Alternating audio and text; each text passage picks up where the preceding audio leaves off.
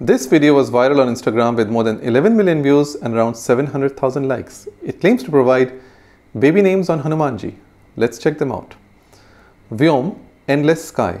Vyoma does mean the sky in Sanskrit, but it is not a name of Hanuman. Yonai, there is no such word in Sanskrit dictionaries. Nia, bright. Again, there is no such name in Sanskrit dictionaries. Shritik, Mahadev or Hanuman. There is no such word in Sanskrit dictionaries. Is it Pragni? There is no such word in Sanskrit dictionaries. Prajni means wise, but it is not a name of Hanuman. Pravi is a Sanskrit word which means attentive or careful, but it is not a name of Hanuman. Six out of six names are wrong. Do not trust Instagram reels for baby names. Use a book like the Sonama Sarit or a dictionary like the Apte Dictionary to search for baby names. Thank you.